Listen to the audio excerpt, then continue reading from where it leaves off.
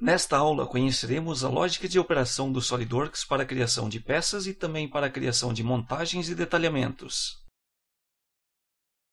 Pois este conhecimento é fundamental para o uso do programa. Vamos lá! O desenvolvimento de projetos no SolidWorks é realizado em três ambientes padrões. Part, onde modelamos as peças. Assembly, onde realizamos a montagem dos componentes. Drawing, onde fazemos o detalhamento. Estes ambientes são controlados por templates, que possuem algumas opções definidas, por exemplo, unidades de medida.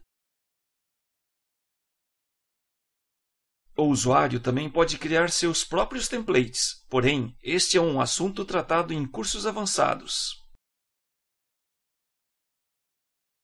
Geralmente iniciamos nosso trabalho no arquivo Part, onde criamos as peças, que podem ser montadas no arquivo Assembly, formando um conjunto. Ou podem ser apenas detalhadas no ambiente Drawing.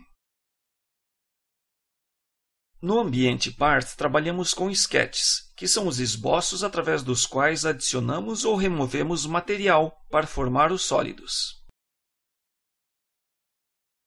Os sketches controlam o modelo através das relações geométricas e dimensionais, facilitando possíveis alterações na geometria. No SolidWorks, podemos alterar a peça a qualquer momento, pois as ferramentas utilizadas ficam armazenadas na sequência construtiva, permitindo flexibilidade no desenvolvimento do projeto. Qualquer alteração realizada em uma peça será propagada automaticamente para todos os arquivos que a utilizam, como montagens ou detalhamentos. Estas alterações podem ser realizadas em qualquer ambiente onde a peça está sendo utilizada, Part, Assembly ou Drawing. Neste curso exploraremos o ambiente Part, criando os esboços e modelando as peças.